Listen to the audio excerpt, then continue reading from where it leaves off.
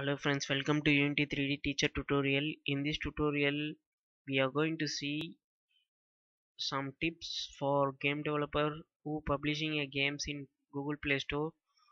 So recently, Google Play Store have asked you asked you to submit your privacy policy for each application or game which you published in Play Store. Some of people haven't done that, so I'm going to help you how to do that so this is the mail you got from play store. They are asking you to submit that url for each game and apps. So you you need to submit before march 15th or they will take necessary steps to stop your app or game. So i i'm going to help you how to make your privacy policy web page so this is the place where you haven't submitted your privacy policy url so you need to go in play store and check store listing. From there you can find privacy policy url not submitting a privacy url at this time. Your app as an uh, apk version code 1 require the following permission android permission get accounts. Some people use get account system in manifest file. So they required you to submit a privacy policy. Suppose if you taking their accounts you need to promise that they don't use for any other external purpose compare to compare only in gaming not any other external purpose like email address or something or maybe a phone number. Everything which you getting for your games related things. So you need to promise them using a pri privacy policy url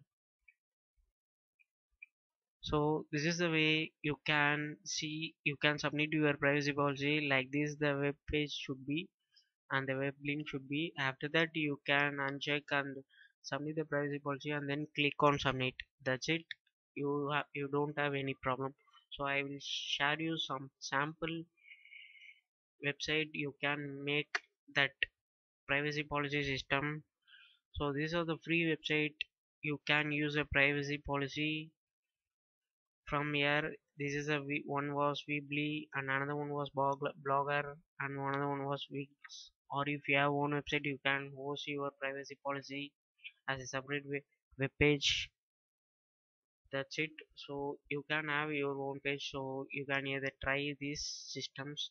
So this is a sample description which which i which i may uh, written for you. You can use this sample description like this for your privacy policy web page uh, you don't want to try anything new. For example i show you there is some privacy policies submitted by some companies there is big so we don't need like this. So we can make simple privacy policy system. For example we i can show you clash of clan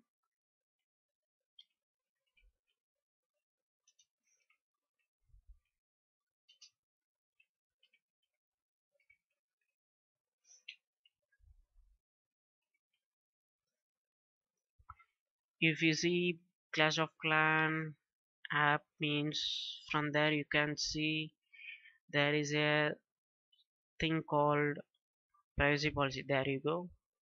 So if you see that they have a lot of privacy policy systems so these are all necessary for not necessary for a small company or indie indie game developers. It is not necessary. So just use this description which i have given you it's available on the description of this video. You can find that in my description and you can use for your own page and you can post that page in either it's weebly or blogger or wix.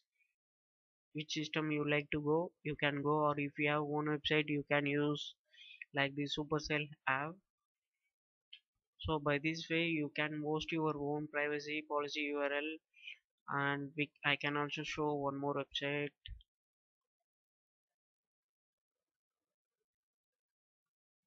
yeah.